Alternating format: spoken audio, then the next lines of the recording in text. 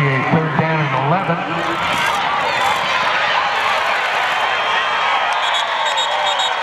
Tackle.